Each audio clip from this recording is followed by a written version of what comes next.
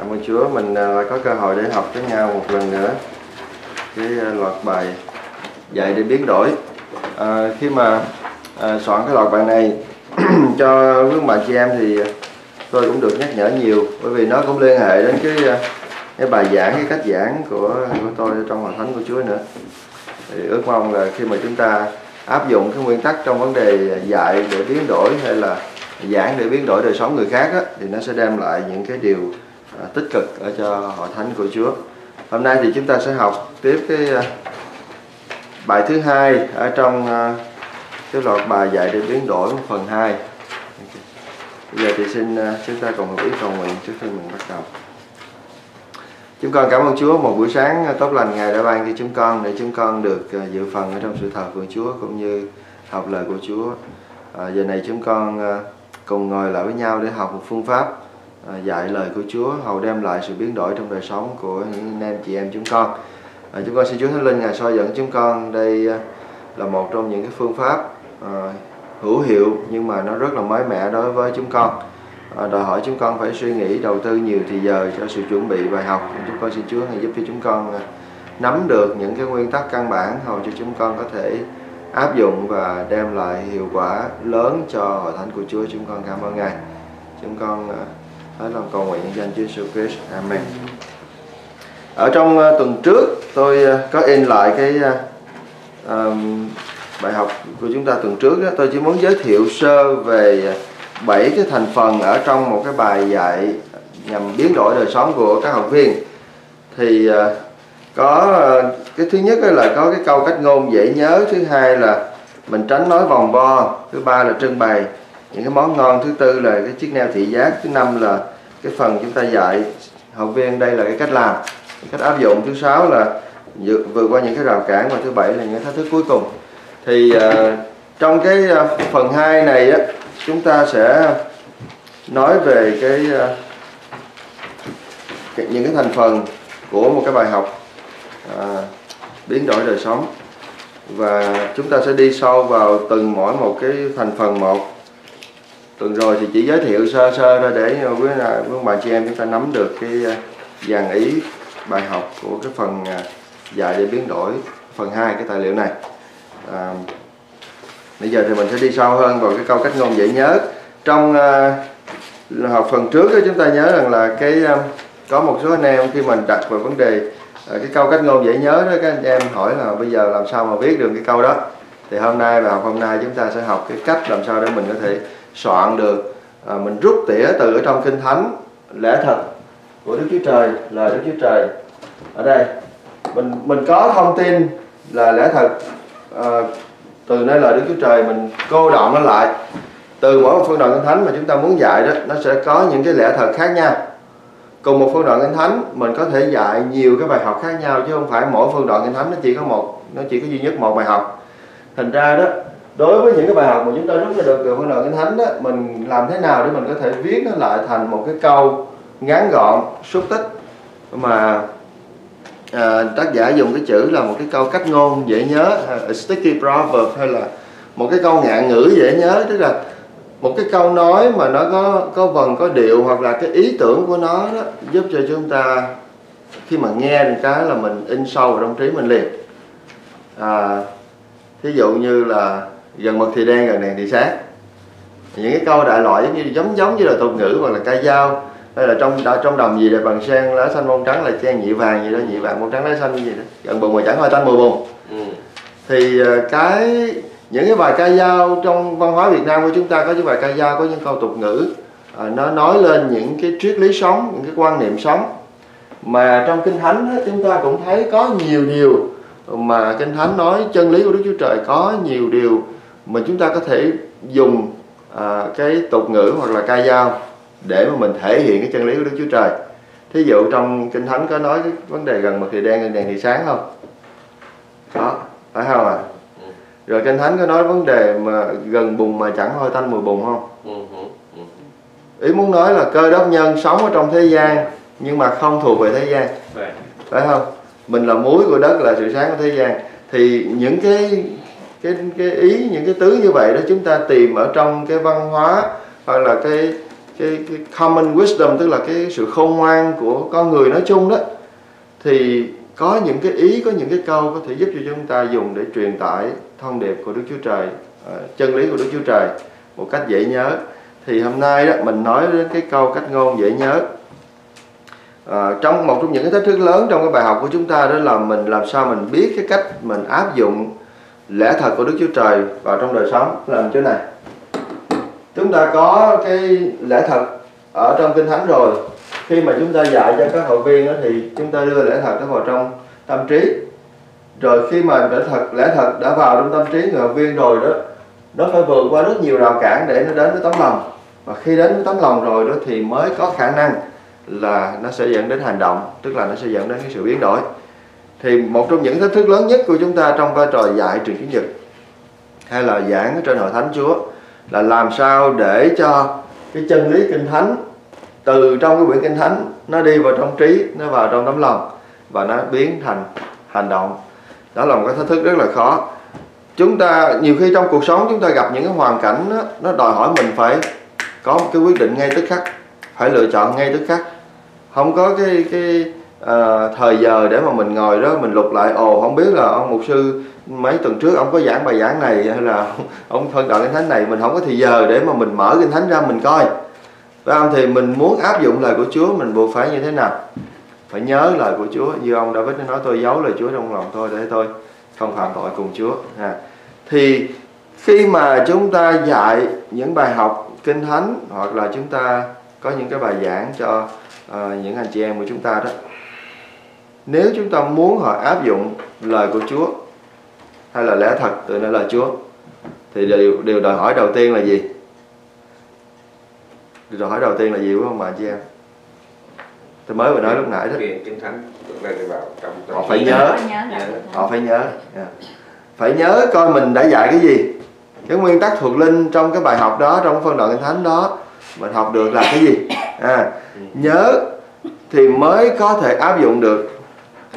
Thì khi mà chúng ta soạn cái bài học mà cái ý chính chúng ta nó cô động vào trong một cái câu mà người học viên có thể nhớ được á thì khi mà họ ra về họ va chạm với cuộc sống họ sẽ thấy rằng là ồ đây là trong đây là cái hoàn cảnh mà tôi sẽ áp dụng cái bài học của tôi đây. Nhưng mà cái ý nó là như thế này tôi nhớ được cái ý bài học này nó ngắn gọn như thế này nó dễ quá tôi bắt đầu tôi áp dụng nó vào trong cuộc sống thực tế của tôi. Thì cái câu cách ngôn dễ nhớ là điều giúp cho các học viên nhớ được những bài học và áp dụng bài học đó. À, cái câu cách ngôn đó là một cái câu mà mình kết tinh toàn bộ cái nội dung cái ý chính của bài học vào trong một cái tuyên ngôn hay là một cái câu ngắn. Thực tế dễ nhớ và nó khắc sâu ở trong tâm trí học viên cho tới khi một cái hoàn cảnh nào đó xuất xuất hiện và khiến cho họ nhớ lại. À. những câu cách ngôn tục ngữ ca dao thường dễ nhớ và chuyển tải những ý nghĩa sâu sắc từ thế hệ này sang thế hệ sang thế hệ khác. À, trong um, cái trang thứ ba của cái tài liệu chúng ta đã có một số cái uh, ví dụ ở đây. Ví dụ một con chim ở trong tay quý hơn hai con ở trong bụi. À, nếu mà chị em hình dung được cái cái cái câu nói này có ý gì không trân trọng những gì dạ có, những cái gì mình có, nó dạ, nó quý hơn là những cái gì mà mình thấy đằng kia mặc dù cái đằng kia mình thấy nó nhiều hơn nhưng mà nó không có nằm trong cái tầm tay của mình phải không? Rồi căn nhà không phải là mái ấm a house is not a home. Có những người có những căn nhà thật to nhưng mà không có hạnh phúc trong gia đình phải không? Do mình mình những cái câu vậy đó căn nhà không phải là mái ấm dễ nhớ không? Mà nó truyền tải một cái thông điệp là xây dựng một cái căn nhà bên ngoài thì dễ nhưng mà xây dựng một cái tổ ấm. Phải là khó mà là thức phải không? Rồi cọp chết để da người ta chết để tiếng. Cái này quen quá rồi phải không? À? trăm nghe không bằng mắt thấy. À, hay là đừng có qua cầu rút ván. Hay là đừng có ném ngọc trai cho heo câu này trong kinh thánh. Ném ngọc trai cho heo có ý nghĩa gì? Là mình đem những cái điều quý giá mình trao cho những người không có xứng đáng hoặc là không biết trân quý những cái điều đó. Cái con heo là cái con ăn tạp. Ngọc trai là cái thứ quý. Bây giờ mình lấy một nắm ngọc trai mình thảy cho nó nó đâu có làm gì nó đâu có đâu có nó ăn cũng không được. Nó chỉ để dưới chân mà nó dẫm lên thôi. Thành ra cái con heo nó không biết trân quý cái giá trị của ngọc trai thì mình mình ừ. mình ném cho nó là nó không ích lợi hết trơn. Chúa Giêsu dùng cái câu này để Chúa nói trong cái hoàn cảnh là có những trường hợp đó lẽ thật của Đức Chúa Trời dành cho một số những người được lựa chọn kêu gọi với cái tâm tình khiêm nhường nhận biết được đời, đời sống của họ có những người mình chia sẻ phúc âm cho họ thì họ họ đối với phúc âm họ xem nó như là như là cỏ rác vậy đó phúc âm là cái điều quý giá nhưng mà đối với người ta người ta thấy nó không có không có giá trị gì cả à. rồi đừng có chuyện bé xé ra to à cái trong cái nguyên ngữ tiếng anh là à, cái gì đó? Nguyên ngữ tiếng anh là đừng có lấy một cái tổ mối đừng có biến một cái tổ mối thành một cái ngọn núi don't turn a, a mole ha. là cái gì? Tôi quên my mole to be yeah, a to, my, to mountain. be a mountain. yeah something like that. Rồi à, chơi dao có ngày đứt tay. À, ban cho có phước là nhận lãnh đây cũng là một cái câu kinh thánh. Rồi đừng có trong mặt mà bắt hình dong tức là nhìn bề đừng ngoài. nhìn bề ngoài thôi. Đừng có nhìn bề ngoài rồi chớ giận cho đến khi mặt trời lặn. Thánh. à, không ai có thể làm tôi hai chủ. Ừ. rồi kiêu ngạo đi trước bại hoại theo sau. Cá không mong muốn cá ương. À. đó là những cái mà mình thấy nó những cái ý tưởng rất là dễ nhớ nó truyền tải những cái chân lý thánh kinh phù hợp với à, dĩ nhiên chân lý thánh kinh là đến từ lời của Đức Chúa Trời rồi. Nhưng mà cái cách mình truyền tải nó phù hợp với cái văn hóa của người Việt. Chúng ta gần gũi à, dễ nhớ những cái câu nói như vậy đó. Nó ăn sâu vào trong tâm trí. Và đến khi mà đụng chuyện có thể người ta sẽ không nhớ ngay tới cái phân đoạn kinh thánh hay là cái câu chuyện kinh thánh mà mình dạy, nhưng mà họ sẽ nhớ câu tục ngữ này trước. Rồi từ cái câu, những cái câu cách ngôn này nè, nó mới giúp cho họ nhớ lại cái phân đoạn kinh thánh mà mình học nó là cái gì. À. rồi bây giờ à, mình bước qua cái phần một La Mã. Ừ, mình soạn một cái câu cách ngôn dễ nhớ cho mỗi một bài học. Chúng ta soạn một câu cách ngôn ngắn dễ nhớ, tóm tắt nội dung và lẽ thật chính của bài học. Cái câu cách ngôn dễ nhớ là một cái câu tóm tắt lẽ thật trung tâm của bài học. Nó trình bày nguyên tắc chính của bài học mà các học viên cần phải nhớ. Thì khi soạn bài học, tốt nhất là phải nghiên cứu phân đoạn kinh thánh trước. Rồi sau đó, trước khi làm mọi việc khác thì chúng ta mới soạn cái câu cách ngôn dễ nhớ cho cái bài học đó. Tức là ở đây, tác giả gợi ý chúng ta đó là khi mình soạn một cái bài học truyền chủ nhật đó, trước hết là mình phải vật lộn với lời của Chúa rồi mình cầu nguyện Chúa soi sáng cho mình thấy một cái lẽ thật trong phân đoạn kinh thánh mà mình dạy. Bắt đầu mình ngồi xuống mình soạn trình bày cái lẽ thật đó trong một cái câu ngắn và dễ nhớ. Rồi sau đó mình bắt đầu mới làm những cái bước khác. Những bước tiếp theo là chuẩn bị à, những cái ví dụ đưa những cái lời dẫn hoặc là trình bày những cái uh, cái cái ý liên hệ đến cái uh, cái ý tưởng trung tâm hay là cái câu cách ngôn dễ nhớ của chúng ta khi mình có cái câu cách ngôn này rồi đó mình sẽ nắm được đại ý điều mà chúng ta muốn đạt được thông qua bài học.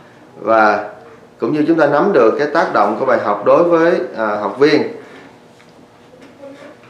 Chúng ta sẽ có những cái ví dụ như là những cái tiêu đề những dàn ý bài học hoặc là sự minh họa hoặc là sự áp dụng nó xoay quanh cái câu này.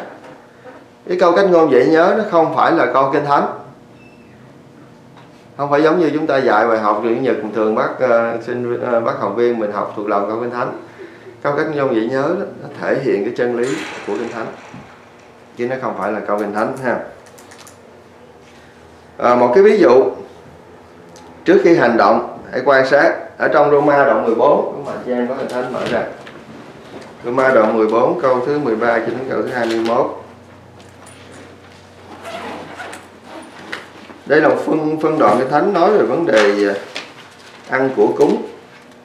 Ăn uống ở trong hội thánh của Chúa. Ở đây nếu mà chúng ta đọc kỹ thì đây là một trong những điều mà khi mà tôi à, soạn cái bài học này, tôi thấy cũng hơi bị bất ngờ trước cái à, cái cái phân tích của tác giả. Và chính vì như vậy cho nên tôi mới tìm hiểu tôi mới nghiên cứu kỹ phân đoạn này. Tôi tôi soạn tới đây mà tôi phải mất cả nửa tiếng tiếng đồng hồ để tôi nghiên cứu kỹ hơn về phân đoạn kinh thánh này. Và tôi thấy rằng là tác giả nói một cách rất là có lý. À, ở đây đó ông Phaolô hàm ý rằng việc ăn đồ cúng là chấp nhận được về phương diện đạo đức. Mình nghe là mình thấy bắt đầu sốc rồi phải không? Ừ.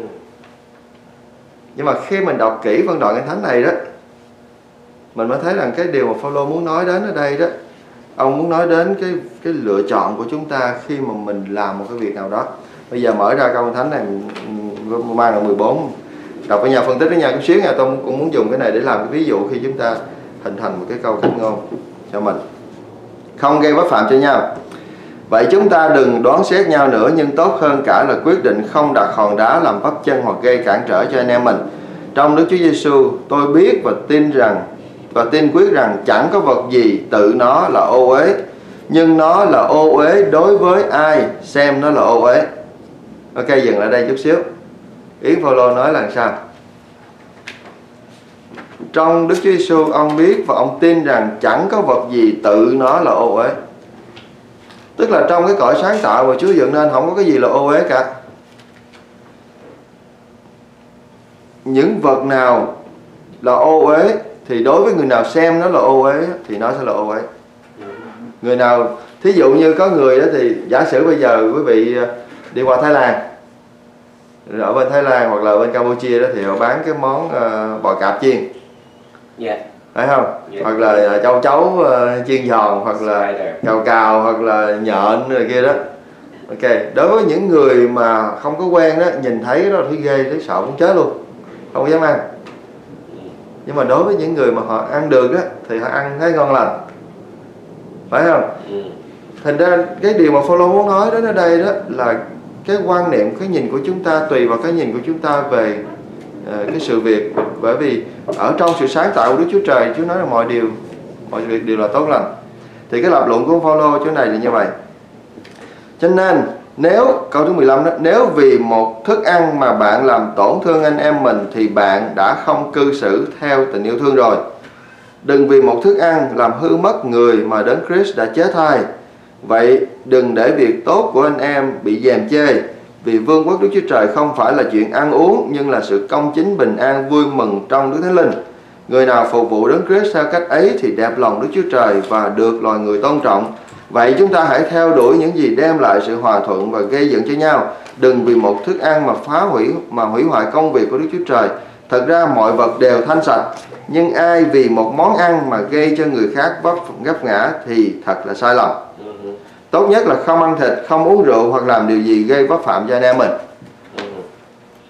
Tức là về phương diện uh, đạo đức đó morally cái vấn đề ăn của cúng, đồ đồ cúng này kia, dù mình biết hay là mình không biết á, nó là cái điều chấp nhận được.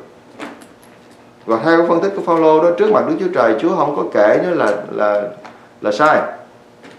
Xin xin nghe tôi kỹ nha, đừng, và đừng đừng có gọi cái luận tôi đang phân tích cái lập luận của Phaolô cũng như là cái điều mà tác giả của bài học chúng ta đề cập đến. Nhưng mà Phaolô lựa chọn không làm điều đó, bởi vì ông biết rằng nếu mà ông ăn cái cổ cúng đó mà gây cho người khác bất phạm thì thà ông không ăn. Đúng. chứ không có nghĩa là cái việc ăn của cúng là cái điều phạm tội hay là có có có tội với Đức Chúa Trời. Bởi vì Phaolô nói tất cả mọi sự đều là đều ở trong câu thứ ờ, 10 ờ, 14 đó. Chẳng có vật gì tự nó là ô uế cả. Ừ. không quý quý mà chị em nắm được cái ý đây của Phaolô đây không? Và cái phân tích của tác giả của bài học của chúng ta ở đây cho nên đó khi mà tại vì bởi, vì tôi muốn phân tích cái này chút xíu là bởi vì cái văn hóa của người Việt Nam của chúng ta và cái cách truyền giáo của chúng ta từ xưa tới giờ đó mình cố gắng tách mình ra khỏi cái văn hóa của sự thờ phượng cũ. Rồi mình à, mình mình à, cho rằng cái chuyện của cúng thần tượng đó mình mình mình ăn nó thì nó, nó giống như là nó phạm tội với Đức Chúa Trời. Ừ. thì cái điều mà ông Phaolô phân tích ở đây đó nó không phải như vậy nhưng mà mình lựa chọn nếu mà mình làm cái điều đó nếu mà mình ăn của cúng thần tượng mà nó đem lại cái sự vấp phạm cho người khác thì thà mình không làm. Bởi vì khi mình làm điều đó mà gây vấp phạm cho người khác dù cái việc làm đó trước mặt Chúa là ok nhưng mà nó gây vấp phạm cho người khác thì thà mình đừng làm. Nha. Thầy muốn hỏi à, một sư ví dụ à, mình đến trong một cái buổi tiệc người ta mời tới mà mình mình không biết đó là cái ngày dỗ hay là một ngày memorial của người Ừ. nào đó. Người Việt Nam gọi là ngày dỗ ví dụ họ có những cái món thức ăn mà họ mang đến mời khách mà mình thực mình mình không biết đó là đã cúng qua hay là để trên bàn thờ hay gì đó vân vân. Thì nếu mình không biết mà mình ăn đối với mình đối với cái người mà con cái chúa đó ăn vô mà không biết thì đương nhiên là họ không phạm tội. Nhưng Ừ. nếu trường hợp trong cái buổi tiệc đó có một người anh em nào biết biết mình ừ. mà thấy mình ăn thì họ sẽ về với phạm họ. Bởi vì thực tế cái người mà Đúng. nhận cái thức ăn đó họ họ không họ không biết. Ừ. họ không biết họ ăn. Đến khi họ biết ra Đúng đó là đồ cúng đó. Thí dụ mà họ đã thờ đã cúng cho những người quá cố gì rồi đó thì họ mới suy nghĩ lại. Thì cái người mà cái đối tượng cái cái người người khách quan người bạn kia cũng là người biết mình á, thì họ sẽ đánh giá nhưng mà Dạ. bên đối với bản thân của người đó thì họ không phạm tội. Và có thể nếu thực sự họ biết thì họ sẽ phải tới hoặc là cái người kia nói "Ủa, anh cũng người đi coi anh là tiên chúa sao anh đồ đồ cúng. Thì cái người mà nhận cái ăn cái đồ cúng đó thì phải giải thích hay là "Ồ, tại vì tôi không biết đây là đồ cúng. Nhưng thì cái cái đó là những cái trường hợp mà ngẫu nhiên mình mình không có cố ý. Vâng mình không có cố ý để mình làm cho người kia pháp phạm. Dạ. à, thì cũng một cái nguyên tắc đó thì tôi nghĩ đến vấn đề ờ, uống rượu. Trong kinh thánh cũng đâu có cấm uống rượu đâu. Chứ uống rượu nhiều nhưng mà Chúa nói rượu, gì? Đừng có say rượu. Đừng có say rượu chứ không phải là đừng uống rượu. Hai cái đó nó khác nhau rất là xa phải không? Tại say. Dạ, mình có uống thì mới say nhưng mà phải uống nhiều nó mới say chứ còn uống một chút thì nó cũng không có không phải là nó say. Hoặc là ví dụ như mình có say thì mình dùng rượu để mà mình nấu ăn chẳng hạn giống như là bây giờ quý vị muốn nấu cái món gà hấp ờ, rượu nho thì cho gà hấp rượu thì sao? Là phải lấy rượu nấu thôi chứ sao? Ừ. nhưng mà khi nấu lên thì tất cả những cái men đó nó cũng cũng, cũng tan đi hết rồi. Thành ra đó cũng một cái nguyên tắc trong vấn đề rượu thì ở đây á tôi khi mà tôi suy gẫm và tôi nghiên cứu về vấn đề thánh này đó tôi mới thấy rằng là à, cái quan niệm văn hóa của người Việt chúng ta về cái vấn đề ăn của cúng đó nó có phần à, nó hơi đi đến cái chỗ là mình mình extreme. Extreme một chút xíu hơi extreme chút xíu. Khi mà mình chưa hiểu cái nguyên tắc à, trong lời của Chúa. Dĩ nhiên tôi nói rồi đó không phải là giờ ồ mình cứ tự nhiên đi ra rồi nhào vô thấy người ta cúng rồi mình cứ nhào vô mình ăn không tôi tôi không có khuyến khích và tôi tôi tôi không có không có nói là chúng ta nên làm như vậy. Nhưng mà mình nên hiểu cái nguyên tắc lời của Chúa Phaolô muốn trình bày ở đây. Là bất cứ việc gì mình làm chứ không phải chỉ cái chuyện ăn uống không. ở đây ông nói là vương quốc Đức Chúa Trời không phải tại cái chuyện ăn uống. Bất cứ điều gì mình làm mà đem lại lợi ích thì làm. Còn nó có nguy cơ nó gây ra pháp phạm thì mình không làm. Đó. thì theo cái um, cái thói quen của chúng ta mà trong cái vấn đề uh, niềm tin đó nhiều có những người họ họ là cái người uh, chưa tin Chúa họ mời mình đến ăn đám dỗ đi. Họ không biết. Họ mời mình họ mời mình ăn. Thì nhiều khi đó nhiều khi vì cớ mình mình ờ, mình tin Chúa rồi mình nghĩ là ăn đồ cúng là là phạm tội với Chúa. Cái mà nói không không anh chị mời xin lỗi tôi không có ăn được cái đồ này. Thì đối với gia chủ đó, họ cảm thấy làm sao? Giống như là một cái sự xúc phạm đối với họ. Tại vì cái cái cái của, thực ra đó, trong những cái đám dỗ trong cái văn hóa Việt Nam chúng ta thì tôi biết như thế này là người ta nấu một cái mâm cỗ. Thường người ta để một phần ra để người ta cúng chứ ta không có không có ai mà cúng hết một cái mâm cả không ai cúng hết ví dụ như làm cái tiệc 10 bàn không lẽ cúng hết 10 bàn. Họ cúng một cái phần thức ăn nào đó họ biệt riêng ra để cúng chứ không phải là họ cúng hết. Thành ra ờ, vì cớ cái qua quan niệm thần học của chúng ta ờ, mình mình mình muốn ờ, có một phần mình muốn bài trừ dùng cái chữ bài trừ hay là loại bỏ. cái sự thờ phượng cũ. Cho nên á, mình không có nhận định được cái nguyên tắc lời của Chúa ở đây mình gán ghép cái việc làm đó với cái chuyện là phạm tội. Trong khi cái ý mà Phaolô nói ở đây đó là chúng ta chỉ phạm tội khi nào cái việc làm đó gây cho người khác phạm tội. À, trong vấn đề uống rượu trong vấn đề ờ, ăn của cúng thì đó là cái mà cái ý mà Phaolô muốn nói ở đây. Một sư nếu mà Dạ. cái cái cái cũng cái trường hợp đó mà không phải là bài trừ cái ờ, cái phần bày tỏ mình khác biệt nhưng mà nếu mà ờ, mình chỉ muốn là cho họ biết là mình không phải là mình mình chê họ hay là mình Ừ. bài trừ họ nhưng mà mình nói lên cái niềm tin của mình thánh khiết vậy thôi nghĩa là cái ờ, muốn cho họ biết là có những cái mình sự ăn uống hoặc là tất cả những gì mình làm nó liên quan tới cái niềm tin Ừ. quý cái quý cái niềm tin của mình mà mình mình cho họ biết chỉ đơn thuần vậy thôi thì cái đó thì tôi nghĩ là nó nó cho người ta biết là để khi nào người ta thấy mình á người ta biết là mình mình mình muốn tôn trọng cái niềm tin của mình.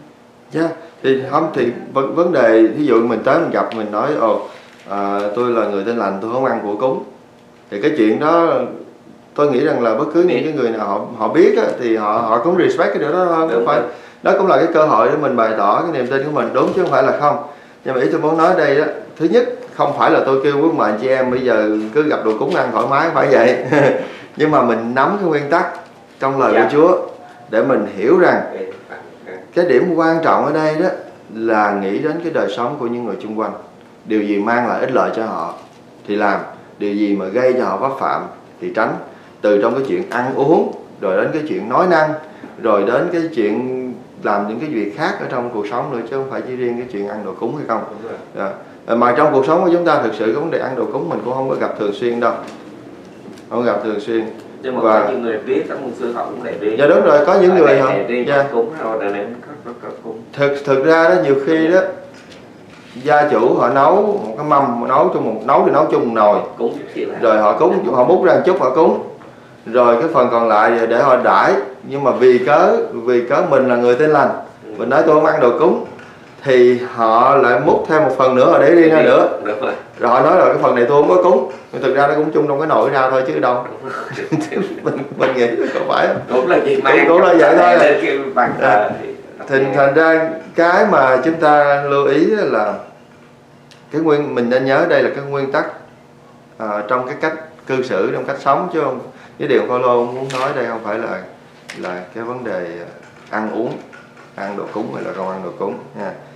Ông cái nguyên tắc ở đây nó sâu xa hơn rất là nhiều bởi vì nó áp dụng vào trong những lĩnh vực khác trong cuộc sống của mình. À, nếu mà quý vị ờ, có gì thắc mắc hay không hiểu thì xin xin ờ, cứ ờ, đặt câu hỏi. Hoặc là bây giờ hoặc là có thời giờ nào đó quý vị cứ gặp tôi và mà hỏi thăm thì chúng ta trao đổi thêm à, chứ đừng có xin đừng nói rằng là ồ một sư tính này dạy kêu chúng tôi đi ăn đồ cúng thoải mái tự do. Không phải vậy nha tôi xin nói rõ như vậy. Bởi vì có những chỗ trong lời của Chúa nó làm cho chúng ta ngạc nhiên. Bởi vì nó đi ngược nó nó khác với lại cái niềm tin truyền thống của mình thì đây là một trong những chỗ mà tôi thấy rất là nhiều những cái ngạc nhiên cho chính tôi. Bởi vì cái niềm tin truyền thống của tôi đó hồi xưa tới giờ đó là ăn đồ cúng là cái điều nó rất là tội lỗi nhưng mà khi mà nghiên cứu phân đoạn thánh lại rồi tôi thấy rằng là trước mặt Đức Chúa Trời nó không phải là như vậy. Cũng giống như tiền bạc. Tiền bạc nó là cái vật trung dung. Nhưng mà cái cách sử dụng tiền bạc sai thì nó dẫn đến tội lỗi. Và cách sử dụng đúng thì nó đem lại phước hạnh. À. thành ra nó không phải là cái cái ờ, ờ, cái vấn đề mà mà à, bản chất của tiền bạc nó không phải là là là tội lỗi rồi kinh thánh cũng nói rất là rõ. Kinh thánh nói là lòng tham tiền bạc là cội rễ của mọi điều ác. Chứ kinh thánh không có nói là tiền bạc là cội rễ của điều ác. À, mình thành ra phân biệt rất là rõ điều đó với các chị em. Trong những cái vấn đề như là à, tiền bạc hoặc là rượu chè thì mình mình có vẻ nó dễ à, cho mình à, mình nắm bắt cái ý tưởng à, của ông Phaolô ở đây. Nhưng mà trong vấn đề ăn của cúng thần tượng có lẽ chúng ta hơi hơi bị lấn cấn chút xíu nhưng mà để mình hiểu được cái nguyên tắc ở đây đó, thì mình sẽ thấy rằng là mục đích mà follow nhắc nhở chúng ta trong mọi việc mình làm làm sao để mình đem lại cái sự gây dựng cho những người chung quanh. Tránh làm những điều gây cớ vấp phạm, cho dù là cái việc làm đó là cái việc làm đúng chứ không ai sai. Tôi lấy ví dụ một cái chuyện khác thực tế hơn. Giả sử bây giờ ờ, hội thánh chúng ta hiện giờ chưa có văn phòng, bây giờ tôi có cái văn phòng ở trong nhà thờ. Tôi ngồi tôi làm việc trong văn phòng. Cái có một người nữ tín đồ đi vô để mà tư vấn hỏi một mục sư bây giờ em hỏi thăm mục sư à, gia đình hoàn cảnh chồng con em vậy bây giờ mục sư giúp đỡ em được không? Ừ. thì tôi là một người mục sư ở trong một căn phòng làm việc của mình thôi rồi nói chuyện với một cái người phụ nữ khác người nữ tín đồ. Rồi vì đó vì cái đó là chuyện riêng tư thì mình phải đóng cửa phòng lại. Ừ. cái việc đó đúng hay sai? Dạ. cái việc tôi ngồi tôi nói chuyện với một người nữ tín đồ trong căn phòng đóng cửa lại việc đó đúng hay sai? Đúng mà tùy theo cái nhìn và cái đánh giá của người con ta cái chúa nữa. Phải không?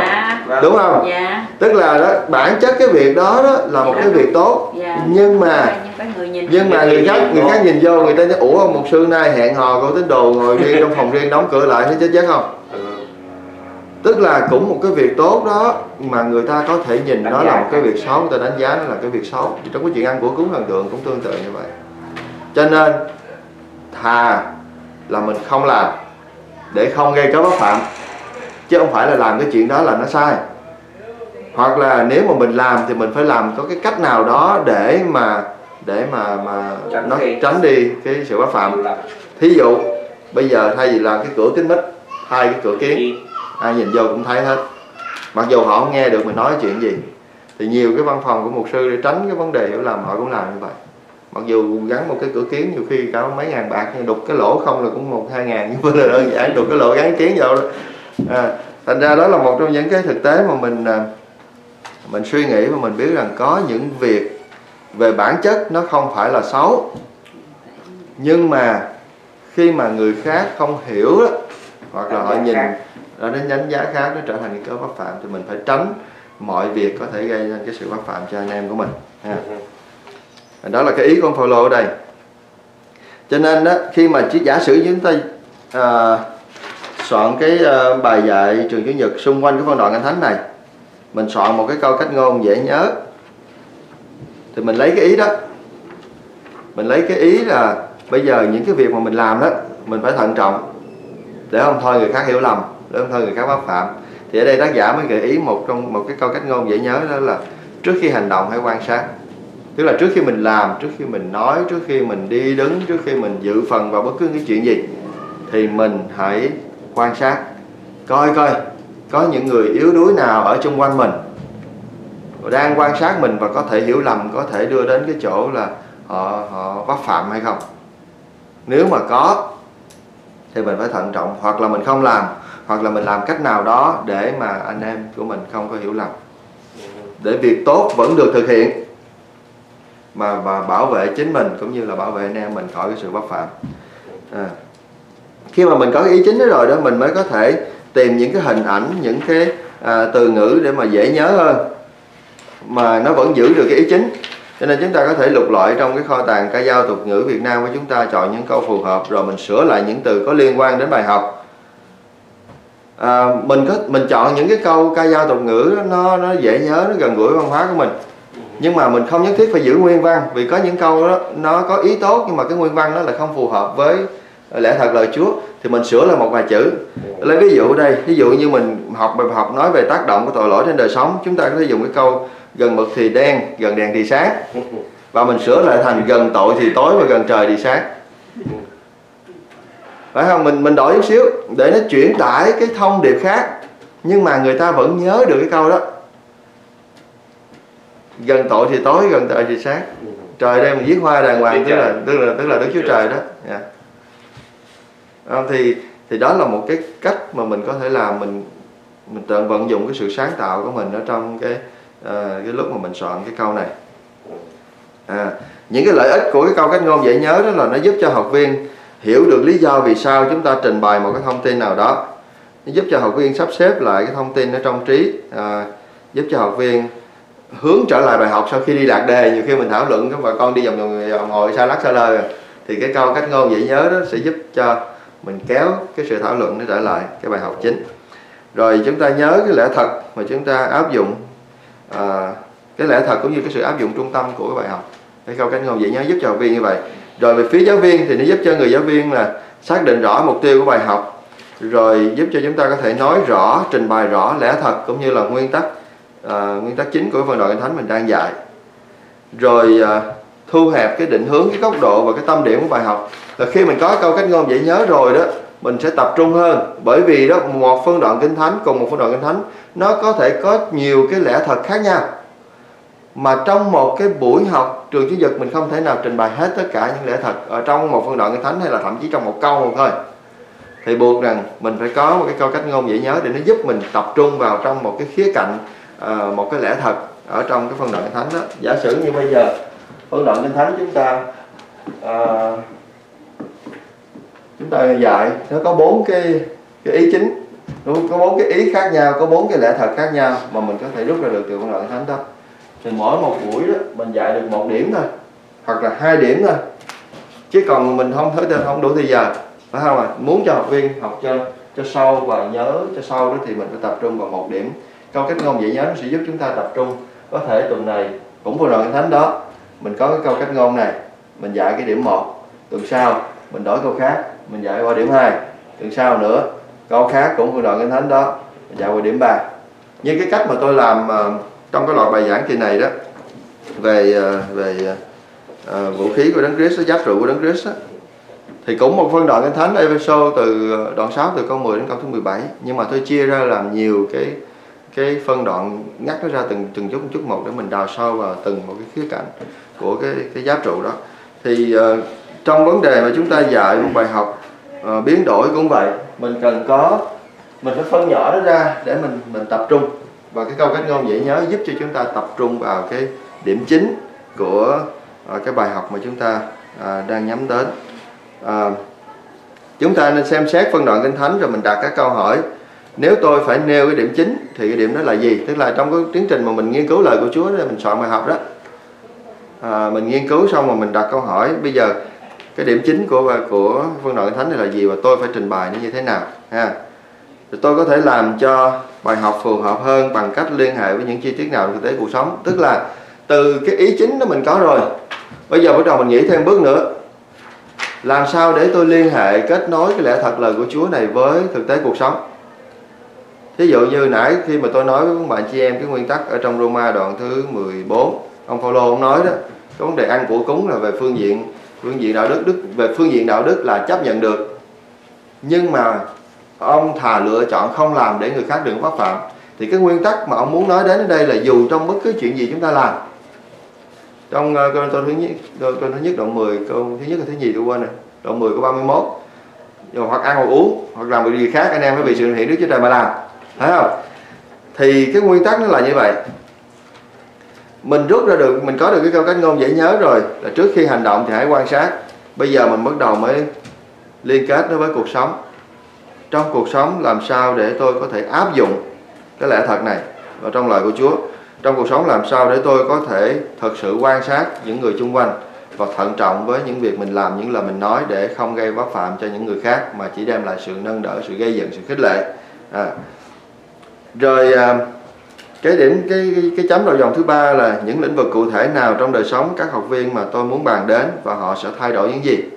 Khi mình có câu cái ngôn dạy nhớ rồi đó mình sẽ xác định được những cái điểm mà mà mình muốn các học viên quan tâm tới và bắt đầu thay đổi. Rồi những câu kinh thánh nào sẽ bàn rõ về cái điểm chính này? Ở trong phân đoạn kinh thánh mà chúng ta sẽ dạy đó mình coi cái câu nào nó tập trung vào cái lẽ thật mà mình đang trình bày. Mình xoáy sâu vào những điều đó. Ờ, và cái điểm ích lợi thứ tư đó là giúp cho các giáo viên xác định cần phải đưa những câu kinh thánh nào hoặc bỏ bớt những câu kinh thánh nào. À khi mà mình có một phương đoạn kinh thánh rồi mình chọn ra một cái ý, một cái ý chính, thì nó giúp cho mình cắt bớt những cái câu kinh thánh nào nó không có liên hệ hoặc là liên hệ không nhiều đến cái ý chính của mình để mình tập trung vào. Thí dụ bây giờ nếu mà quý ông bà chị em có 45 phút để dạy trường Chủ nhật Mình dạy một câu kinh thánh So với việc mình dạy một đoạn 50 câu kinh thánh Thì quý vị thấy cái nào nó sẽ hiệu quả hơn Đương nhiên là một câu phải không ạ à? à. Thì khi mình có được cái ý chính rồi, cái câu cách ngôn dễ nhớ rồi Nó giúp cho mình tập trung trong phân đoạn kinh thánh đó Giả sử như là trong cái phân đoạn Roma đoạn thứ 14 từ câu 13 đến câu 21 này mình có được cái ý chính rồi bắt đầu mình tập trung vào những câu nào quan trọng nhất nó thể hiện cái ý chính đó. Mình xoáy vào cái chỗ đó thay vì mình phải đi hết nguyên một đoạn. Ha, hai thay rồi thay vì mình phải phải nói từng câu từng câu từng câu từng câu một. À, thì đó là cái ý của tác giả à, trình bày ở đây để mà mình giúp cho mình thấy được cái lợi ích của cái việc có một cái à, cái câu cách ngôn dễ nhớ và soạn một cái câu cách ngôn dễ nhớ cho cái bài học của mình bài dạy của mình. Rồi cái điểm lợi ích thứ ba là giúp cho chúng ta tránh được cái việc nói vòng lòng vòng lòng vòng thì cái này là tuần sau à, chúng ta sẽ nói tiếp. Các anh chị em có câu hỏi có thắc mắc gì trong phần này không? Trước khi mình đi qua phần tiếp theo và mình sẽ thực hành. À, một chút.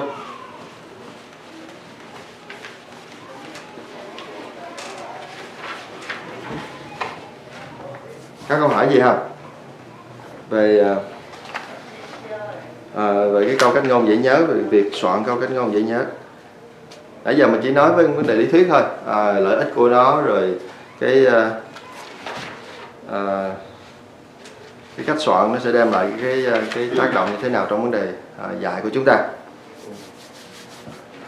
Nếu mà không có à, câu hỏi gì thì mình đi tiếp ha. Bây giờ mình nói một cái câu cách ngôn mẫu.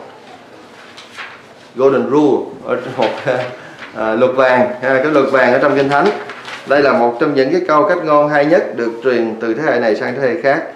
Và chúng ta gọi là quy luật vàng, là hãy làm cho người khác điều mà các ngươi muốn họ làm cho mình. Matthew đoạn 7 câu thứ 12 đây là cái câu Chúa Giêsu phát. Mình nhớ có một câu tương tự ở trong ờ, trong xã hội, câu tương tự của Đức Phật.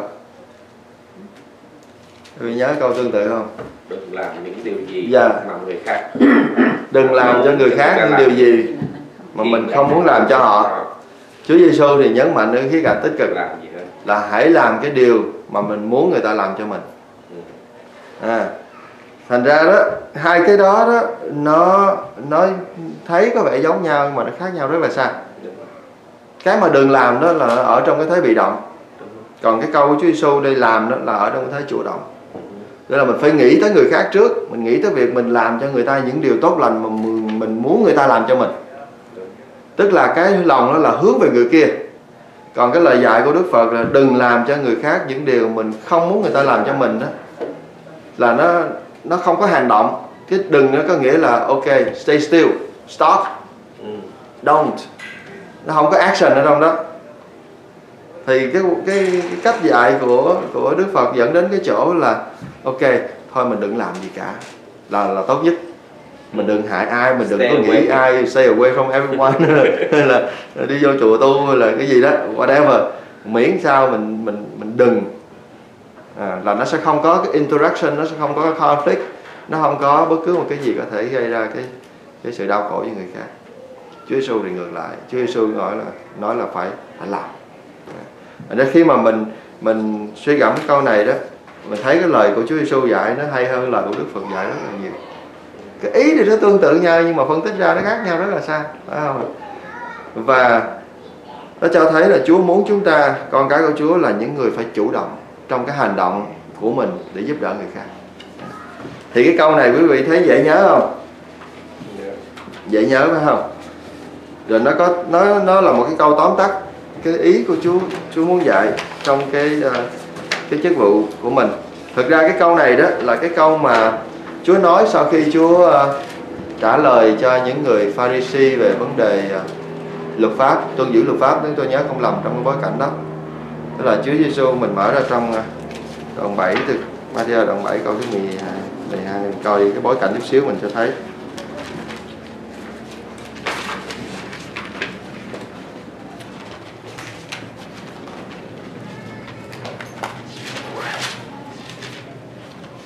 sáu đoạn 7 À. đoạn 7 câu thứ 12 nhưng mà đoạn 7 nói chung đó là Chúa Giêsu nói về sự đoán xét nè. À, đừng đoán xét ai để mình khỏi bị đoán xét vân vân. Rồi đừng cho chó câu, đoạn câu 6 đừng cho chó những vật thánh cũng đừng ném ngọc trai cho heo nè.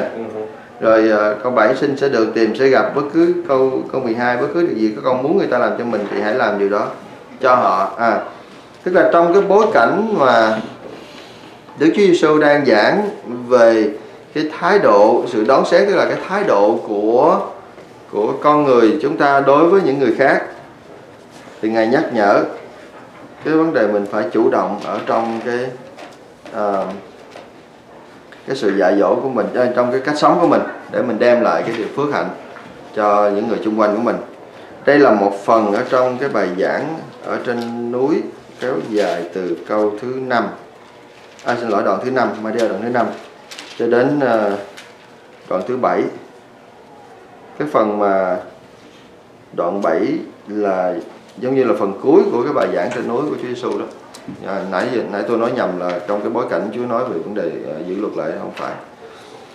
Thành ra mình thấy trong cái cái cái ờ, câu kinh thánh này đó giúp cho chúng ta nhớ được cái ý mà Đức Chúa Giêsu muốn à, chúng ta phải nhớ và áp dụng trong cuộc sống mình mỗi ngày phải không?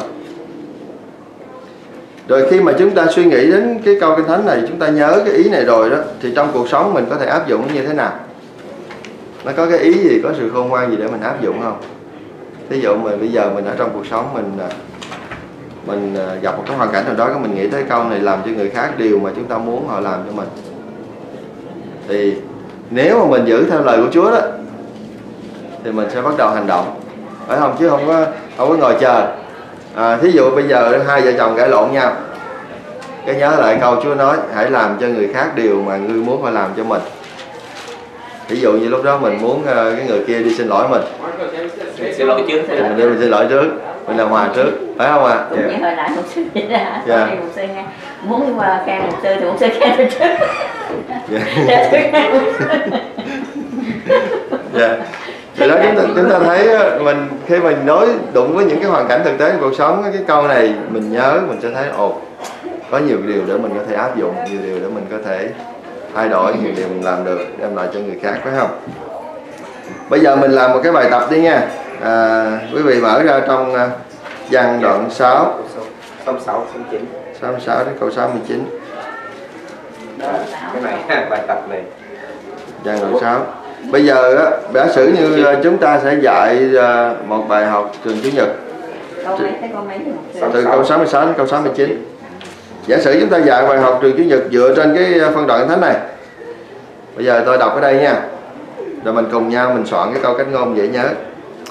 Từ lúc ấy nhiều môn đồ thối lui không theo Ngài nữa. Đức Chúa Giêsu nói với 12 môn đồ. Còn các con cũng muốn thối lui chăng? Simon Peter đáp Thưa Chúa chúng con sẽ theo ai? Chúa có lời của sự sống đời đời. Chúng con đã tin và nhận biết rằng Chúa là đấng thánh của Đức Chúa Trời. Ok, có mấy câu nữa thôi. À. Giăng đoạn 6, câu 66 đến 69 Ok. Bây giờ khi muốn bà cho em đọc câu Thánh này Đọc mấy câu Thánh này mình à, Mình thấy uh, lời Chúa có cái ý gì Để mình có thể học được? Trước khi mình mình hình thành một cái câu cách ngôn dễ nhớ đó Mình uh, nêu cái ý chính ở một cái câu dài hơn Rồi mình sẽ tìm cách mình rút nó lại Ok, quý vị thấy đây có cái ý gì? phước cho những kẻ chẳng thấy mà tin có nhân gian Nó có nằm trong cái nó có cái chuyện mà không thấy mà tin nó có nằm trong phân đoạn kinh thánh này không? ờ Đúng không?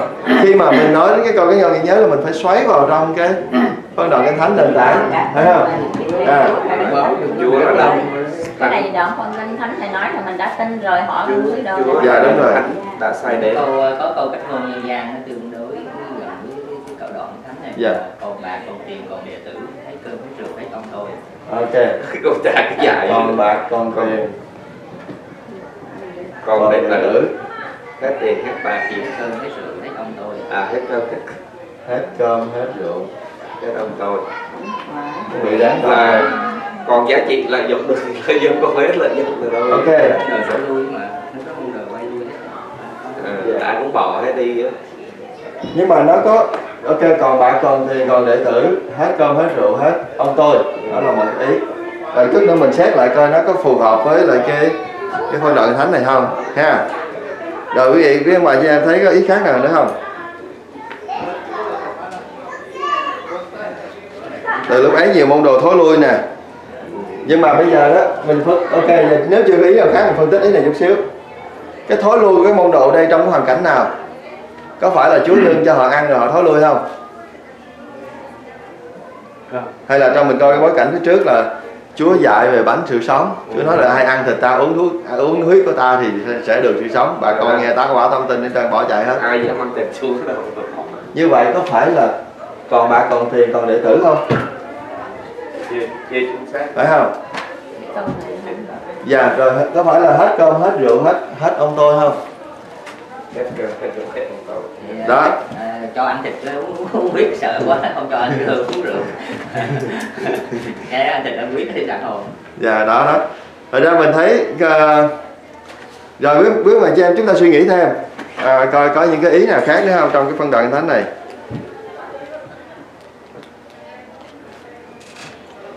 ông phi nói là Chúa hỏi là bây giờ mấy con có thối lui không? Ông nói là chưa Chúa chúng con sẽ theo ai? Chúa có lời của sự sống đời đời. Ừ. à, chúng con đã biết và tin ngài là đấng thánh của Đức Chúa Trời. Tin sự tiên quyết vào lời của Đức Chúa Trời. Dù là ok rồi cứ nêu ý chính đó đi tin quyết vào lời Chúa thì à, vậy thì có câu cách ngôn là dù ai nó ngã nó nghiêng. Đó là những kiền ba chân. Ok cái đó có lời. Dù ai nói ngã nói nghiêng. thì ta vẫn vẫn như kiền ba chân. Ok. Rồi. Giờ phân tích chút xíu. À, tên quyết vào lời của Chúa. Thì đó là một cái ý thôi chứ nó cũng chưa phải là một cái câu nữa. Nó chỉ là một cái cái clause cái mệnh đề thôi chứ chưa phải là một cái câu à, dù ai nói ngã nói nghiêng lòng ta vẫn vững như kiền ba chân rồi cái câu đó thì dễ nhớ. Nhưng mà rồi nó phản ánh được cái tinh thần của cái bài học này hay không? Cái phân đoạn thánh này không?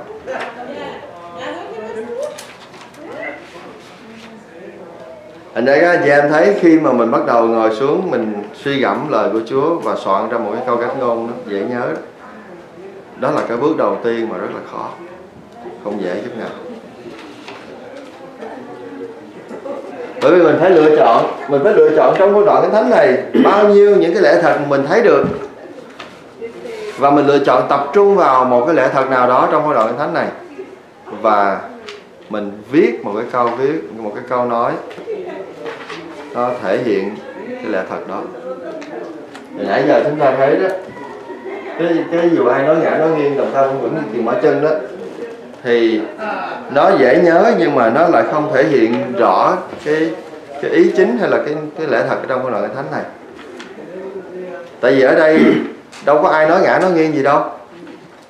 Chúa nói người ta không có không có không có có ờ, chấp nhận được, người ta bỏ ta theo Chúa mà. Thành ra giả sử bây giờ mình muốn dùng cái câu này, bây giờ mình sửa lại.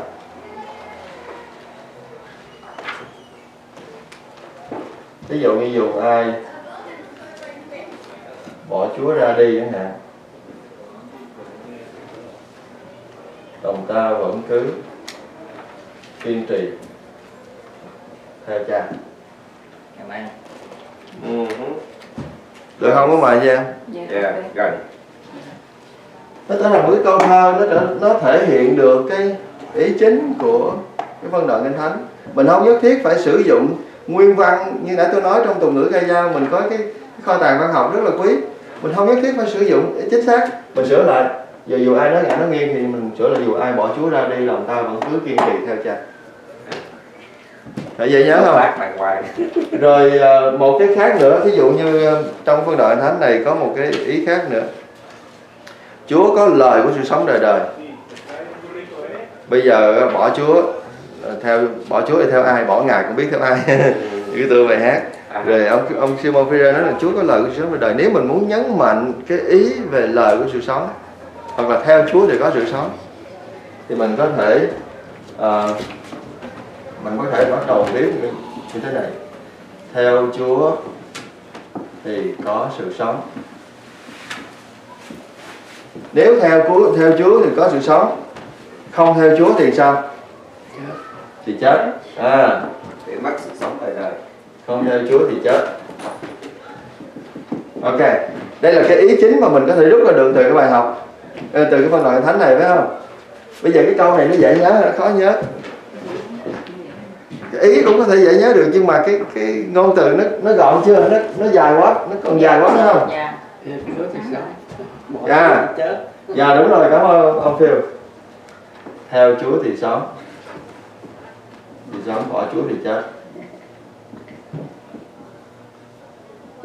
đó ông phiêu đó là cái câu cách ngon dễ nhớ của mình đó. Đó, tức là từ một cái cái cái câu mà mình viết về lễ thờ của Chúa nó dài hơn. Bắt đầu mình nghĩ là mình suy nghĩ mình rút gọn là làm sao để mình có thể truyền tải cũng một cái thông điệp đó nhưng mà ít từ hơn dễ nhớ hơn và nó đi sâu vào trong lòng của người học hơn. Theo Chúa thì sống bỏ Chúa thì chết. Hoặc là mình đi theo một bước nữa. Theo Chúa thì sống chống Chúa thì chết tức là thay vì chữ chữ bỏ thì mình sửa thành chữ chống để cái chữ sống với chữ chống thì nó vần với nhau bỏ là một hình thức chống bỏ Chúa là chống Chúa, còn gì nữa? Phải không? Nhưng mà khi mà mình nói theo Chúa thì sống, bỏ Chúa thì chết. Dễ nhớ rồi đó. Nhưng mà để ấn tượng hơn nữa, mình sửa sửa là thành theo Chúa thì sống, chống Chúa thì chết. Mình thấy là nó ra liền một cái câu rất là dễ nhớ và bài học mình xoay quanh cái ý tưởng đó. Dùng những cái ví dụ những cái uh, ý tưởng liên kết liên hệ đến cuộc sống mình những phần áp dụng trong cuộc sống mình. Thì khi mà con cái Chúa ra về họ sẽ nhớ câu đó theo Chúa thì sống không chống Chúa thì chết. Bắt đầu ước vào trong cuộc sống thực tế. Ồ trong hoàn cảnh này mình đang theo Chúa hay là mình đang chống Chúa này à. rồi bước ngoài chị em bắt đầu nắm được cái cách mình làm chưa? Ok bây giờ mình thử một cái phân đoạn nữa nha. Matthew đoạn 8 câu 23 cho đến 27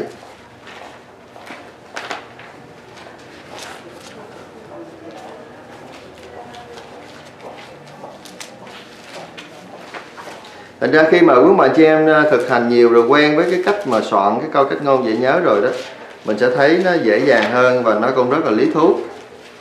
Bởi vì ờ, một phần nó vừa thách thức chúng ta nhưng mà một phần nó cũng đem lại cho chúng ta cái cái cảm giác rất là rất là, là à, thỏa mãn hay là thỏa lòng. À, khi mà mình soạn được một câu cách ngôn dễ nhớ mà nó tóm được cái ý của cái phân đoạn kinh thánh mà mình mình dạy trong cái buổi ờ, học trưởng nhật đó mình thấy rất là vui. Thấy thỏa lòng thỏa lòng lắm. À, ra được cái câu sống theo Chúa thì sống chống Chúa thì chết hay là dù ai bỏ Chúa ra đi lòng ta vẫn vẫn kiên vẫn cứ kiên trì theo cha chẳng hạn như vậy thì nó sẽ giúp cho chúng ta thấy được cái sự phấn chấn ở trong lòng của mình. Ít nữa là mình mình biết cái là bây giờ mình nắm được cái cốt lõi của cái bài dạy rồi. Phải không? Rồi khi mình đứng lên mình dạy đó thì không có cần phải lo sợ là, ồ, tôi không biết tôi đang dạy cái gì, tôi không biết tôi nói tới tôi lúc nào. À ra cái ý đó nó sẽ giúp cho chúng ta rất là nhiều. Bây giờ trong Matthew đoạn 8 câu 23 đến 27 Đức Chúa Giêsu xuống thuyền các môn đồ theo ngài thịnh lình, một cơn bão mạnh thổi lên trên biển đến nỗi sóng ập vào thuyền, nhưng ngài đang ngủ. Các môn đồ đều đánh, đến đánh thức ngài và kêu lên, Chúa ơi, xin cứu chúng con với chúng chúng ta chết mất. Ngài phán hỡi những người ý đức tin kia, sao các con sợ? Ngài liền đứng dậy, quở gió và biển, chúng đều yên lặng như tờ các môn đồ rất kinh ngạc hỏi nhau, người này là ai? Mà ngay cả gió và biển đều vâng lệnh người. Ok, Matthew đoạn ờ, 8 câu 23 Ok, rồi cái câu chuyện này là Chúa à, dẹp tan cơn bão dưới biển. Đơn giản thôi. À, Chúa Giêsu xuống thuyền đi trên thuyền thì Chúa mệt quá Chúa nằm Chúa ngủ. Sóng gió nổi lên ầm ầm thì à, các môn đồ lo sợ chết chìm. Thấy Chúa nằm ngủ ngon lành rồi sao lái kêu Chúa thức dậy ôi Chúa ơi Chúa không sợ chìm mình sắp sắp sửa chết hết trơn rồi chết chồng hết trơn rồi. Chúa không sợ sao Chúa nằm Chúa ngủ ngon lành vậy? Thì Chúa thức dậy xong rồi Chúa mới quả trách họ rồi sau đó à, Chúa quở một tiếng thì sóng yên biển lặng. Rồi bây giờ trong cái câu chuyện này chúng ta có thể học được những bài học gì hay là mình có thể rút ra được những lẽ thật gì?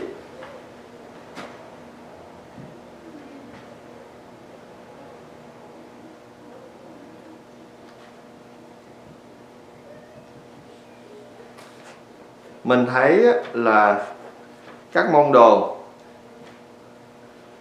ở trong cùng một chiếc thuyền với Chúa mà họ vẫn sợ hãi.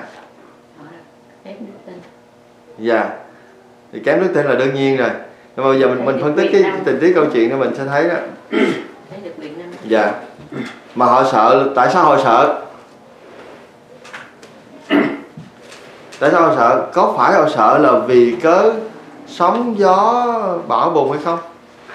Hay là cái nguyên nhân họ sợ có cái gì đó nó sâu xa hơn?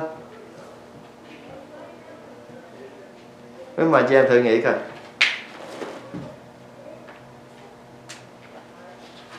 Giả sử, ok, giả sử bây giờ lúc đó gặp sóng, gió mà chúa không có ngủ. Chúa thức, chúa tắt nước với họ. Chúa giữ cảnh bườm với họ, thì họ có sợ không tại vì họ thấy uh, chú ngủ Dạ. chú ngủ quên. Sóng to gió lớn thì sẽ làm đắm thuyền. Dạ.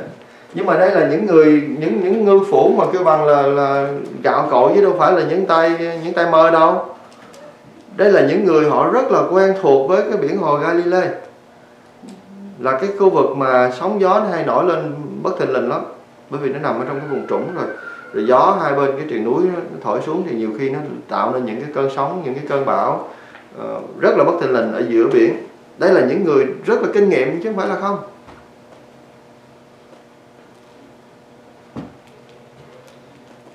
Thành ra cái sợ ở đây đó, về sâu xa đó, mình suy nghĩ mình sẽ thấy rằng là dù Chúa ở bên cạnh họ,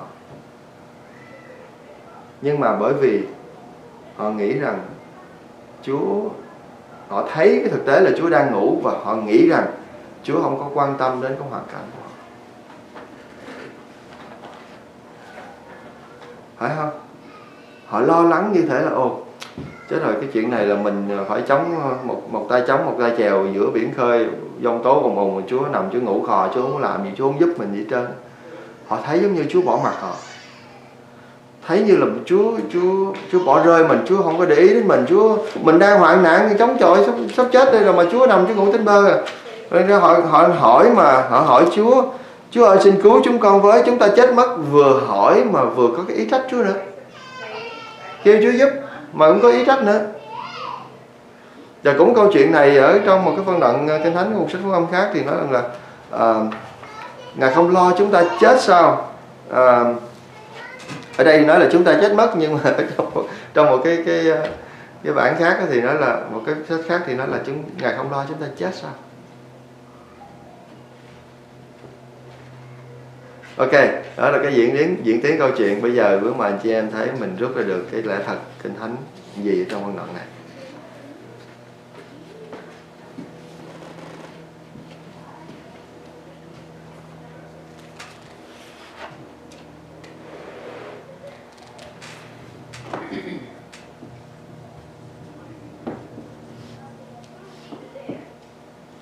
Cái câu, câu câu chuyện này Chúa ngủ phải không? Nhưng mà ngài có biết điều gì xảy ra không? Dạ biết biết. Chưa ngủ. Chưa biết. Chúa có sợ hãi không? Dạ không. Không. Người chúa mà sợ gì? Một sư dạ. Dạ. À, ha. nhưng mà mình khi mà khi mà mình tìm hiểu về cái nội dung của của con đoạn thánh mình nên đặt những câu hỏi. Đôi khi có những câu hỏi rất là ngớ ngẩn. Nhưng mà nó giúp cho mình thấy được cái cái nội dung, cái ý chính của bài học. Chúa bình an. Bình an mới ngủ được chứ không? Tự nhiên ờ, trong giữa sóng gió ờ, ồm ồm nước tạt vô mà ướt nhẹp trơn mà ngủ được cũng là cũng là hay chứ bao nhiêu chuyện đơn giản đâu. Đâu phải ngủ là ngủ giữa bão tố là cái chuyện chuyện giản mà đâu. Chúa ngủ, Chúa biết cái hoàn cảnh và Chúa bình an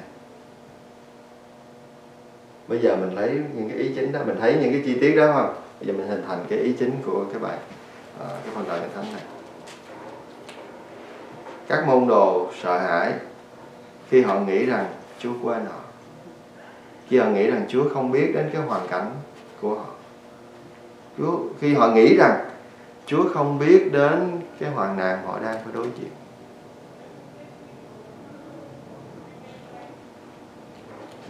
Mình có thể tức là từ cái ý đó đó mình có thể rút ra một cái cái, cái bài học cái ý chính. Giờ mình nghĩ lại coi khi mình ở trong hoạn nạn Chúa có ở bên cạnh mình không? Có. Có. Mình có cảm nhận có phải lúc nào mình cũng cảm nhận là Chúa ở bên cạnh mình trong hoạn nạn không? Dạ có dạ có khi đó có kinh nghiệm ừ. nghiệm vậy thì bây giờ đó là chân lý của kinh thánh, đúng không?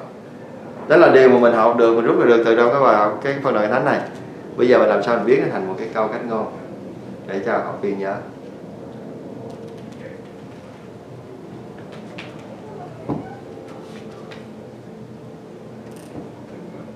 Mà chị em suy nghĩ thử có câu cách ngôn nào để giúp cho chúng ta tóm tắt được cái ý đó không? Tức là trong hoạn nạn nè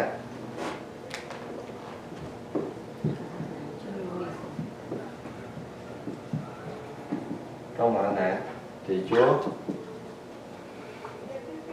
vẫn ở cùng và trở về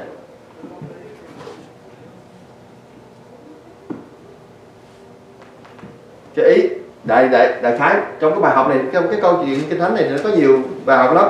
Giả sử bây giờ mình, mình chọn mình dạy về cái lễ thân này tức là trong hoạn nạn của chúng ta Chúa vẫn luôn ở cùng. Được không? Rồi bây giờ mình viết cái câu này cái ý này sao cho nó trở thành một cái câu cách ngôn dễ nhớ mình biến nó lại như thế nào? Để à, để cho nó dễ nhớ học viên dễ nhớ.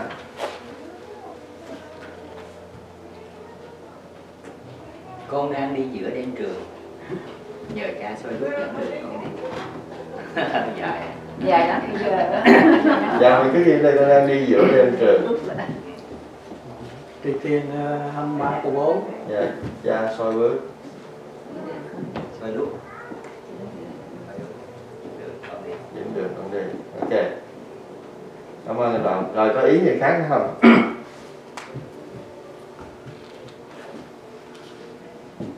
làm sao thể hiện được cái này trong hoạn nạn chẳng sợ tai họa nào thì tiền 23 Dạ. của bố à, thi thiên 23 dù tôi đi ờ, trong trụng bóng chết cũng chẳng sợ tai họa nào vì Chúa ở cùng tôi. À, đó là nguyên câu kinh thánh rồi. À. bây giờ những cái ý tưởng này làm sao mình soạn nó lại thành một cái câu này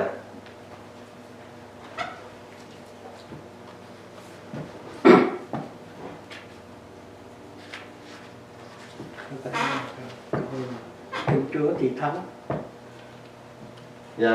Ok. Tin Chúa thì thắng. À, tên Chúa thì thắng. Rồi đó là một đó là một cái lẽ thật phải không? Nhưng mà trong cái phân đoạn kinh thánh này mình trở lại phân đoạn kinh thánh này có nói gì về cái chuyện thắng hay không? Dạ. Nói về đức tin. Về sự bình an. Nói về đức tin nói về Dạ. nói về sự bình an. À. Nói về sự bình an. nói về cái lòng tin cậy nơi Chúa. dạ. Chứ không phải là nói về sự chiến thắng. Cho nên nếu mà mình dùng ở đây tin Chúa thì thắng nó rất là dễ nhớ Dạ. ngắn gọn. Nhưng mà nó chưa thể hiện được đúng và sát với lại cái cái bản văn của mình. Phải không? Bây giờ mình tạm để đó. Mình nhớ là cái ý chính của chúng ta là trong hoạn nạn Chúa vẫn ở cùng và chở che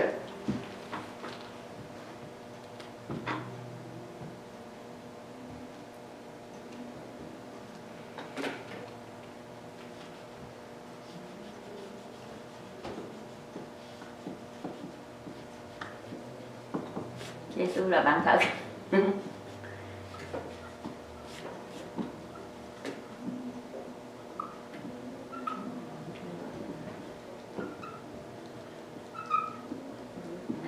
Tôi đang suy nghĩ uh, Giêsu là bạn trong hoạn nạn cũng như lúc an bệnh trong hoạn nạn hay là trong bình an. Ờ, tạm nghĩ vậy thôi nhưng mà cái ý này tôi cũng chưa hỏi lòng đâu tại vì nó cũng còn dài dòng lắm. còn dài À.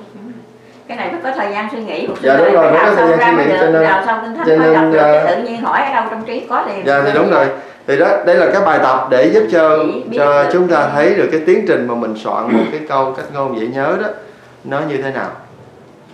Mình à, bắt đầu bởi khi mình nghiên cứu kinh thánh xong rồi mình có những cái chi tiết ở trong cái bài học à, trong cái phân đoạn thánh đó mình bắt đầu viết xuống.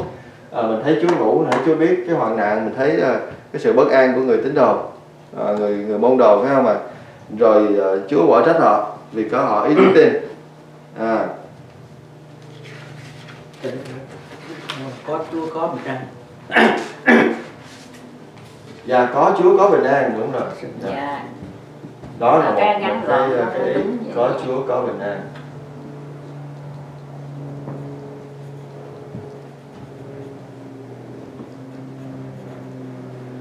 Cái này cũng còn dài.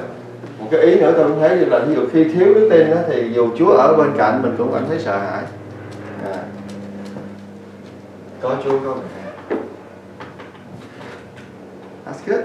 Yeah thành ra nó dẫn đến cái chỗ khi mình mình nhớ cái câu này có Chúa có sự bình an đó nó gì nó giúp cho người học viên nhận thức được điều là khi mà mình không có sự bình an đó dạ, tại vì không có mình không có ở trong Chúa. Dạ là vì một cái lý do nào đó mà cái mối liên hệ của mình với Chúa bị ngăn trở. Thiếu đi sự bình an. Thành ra đó là, nó chưa có đầy đủ rồi thời gian, không có không có nhiều để chúng ta đào sâu, nhưng mà tôi muốn ờ, gợi ý một vài cái ví dụ này để quý ông bà chị em chúng ta suy nghĩ rồi mình ờ, cùng thực thực hành với nhau. Bây giờ ờ, có một cái bài tập cho quý ông bà chị em. Mát đoạn đoạn 8 từ câu 1 đến câu thứ 10 đó ước ông chị em về nhà xong mình ờ, suy gẫm cái phân đoạn kinh thánh này. Máy đoạn 8 từ câu 1 đến câu thứ 10 là cái câu chuyện mà Chúa Giêsu hóa bánh. À, thì à, nếu mà chị em về nhà suy nghĩ rồi coi coi trong cái câu chuyện này đó có những cái lẽ thật thuộc linh nào. À, quý ông chị em suy nghĩ rồi quý ông chị em à, về nhà soạn ít nhất là hai cái câu cách ngôn dễ nhớ. Ít nhất là hai nha. Mỗi một hai đâu ít hai dạ. Không thì ít nhất là hai tức là nếu mà làm một cái thì thì mình mình Quá tại vì mình muốn thực tập mà. Dạ. cho nên mình làm ít nhất là hai. Là mình sẽ dựa trên cái phân đoạn thánh này mình soạn ra hai cái ý chính hai cái câu cách ngôn dễ nhớ nó sẽ truyền tải hai cái lẽ thật khác nhau mà chúng ta rút ra được cùng một cái phần đoạn kinh thánh này. Ha? Rồi uh, chủ nhật tuần tới mình sẽ gặp lại mình chia sẻ với nhau rồi mình sẽ phân tích với nhau cái phần đoạn kinh thánh này kỹ hơn. Rồi uh, trao chuốt cái câu cách ngôn dễ nhớ của mình uh, cho nó ngắn gọn xúc tích uh, ngôn từ cho nó nó nó vừa văn hoa nhưng mà nó cũng vừa uh, dễ cho người anh em chị em của chúng ta nhớ và áp dụng không có mạnh chị em. Ok rồi là chúng ta Xa xa thì dừng lại ở đây. Dạ theo Chúa dễ xa xa dễ dàng sa ngã. Ờ, đó là bác bác bác màu nhớ được cái câu đó đó. Phải không? Có những cái mình à, mình nhiều khi bài giảng rồi quên mất tiêu rồi nhưng mà nhớ được cái ý chính đó thì mình sẽ nhớ được cái ờ, bài dạy nhắc nhở mình. Ok thôi xin ờ, chúng ta cùng hiểu biết cầu nguyện với nhau. Con mời bác màu cầu nguyện rồi chúng ta kết thúc buổi học buổi sáng này